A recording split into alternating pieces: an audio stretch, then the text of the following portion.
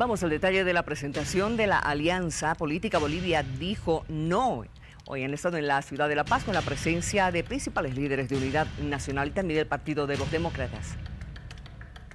Ante la presencia de militantes tanto de Unidad Nacional como del Partido Demócrata Social en la ciudad de La Paz, los líderes de ambas tiendas políticas realizaron la presentación de su alianza Bolivia dice no. Que ninguno de nosotros va a tener ningún tipo de arrogancia, que ninguno de nosotros va a creer que somos imprescindibles, que siempre está, va a estar por encima el bien mayor, el bien de bolivianos y bolivianas. En la proclamación de esta alianza se dejó en claro que los intereses políticos de los líderes de Unidad Nacional y de Demócratas fue dejada de lado para construir una alternativa democrática en beneficio del país. Hemos tratado de que todos participen en la unidad sin definir candidatos.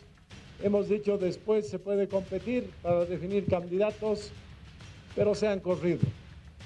Se han asustado de, ese método y por eso no están todos aquí en esta, en esta tarde. Las alianzas políticas se presentaron cumpliendo el plazo final establecido por el Tribunal Supremo Electoral. De acuerdo a este cronograma, el 28 de noviembre se deberá realizar la inscripción de candidatos para los binomios presidenciales.